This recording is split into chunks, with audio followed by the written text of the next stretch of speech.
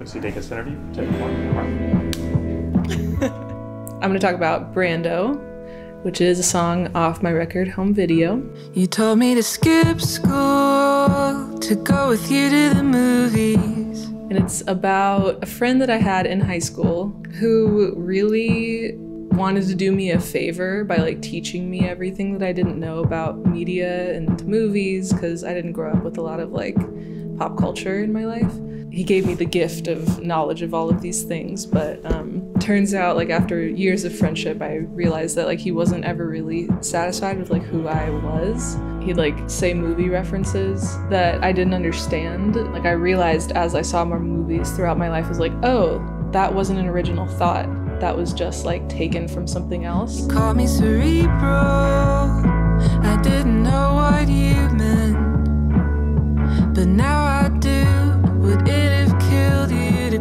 me pretty instead? There's like a movie theater that way. This theater, they played old black and white movies. The Godfather is one that we saw. Maybe A Streetcar Named Desire, hence the Brando reference.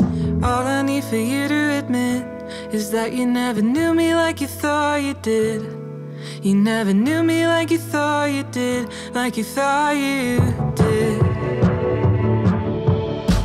I think that the tone of the song is kind of how I feel about it, which is like a little like you don't know, but also it's fun. And like watching all those movies, that was fun.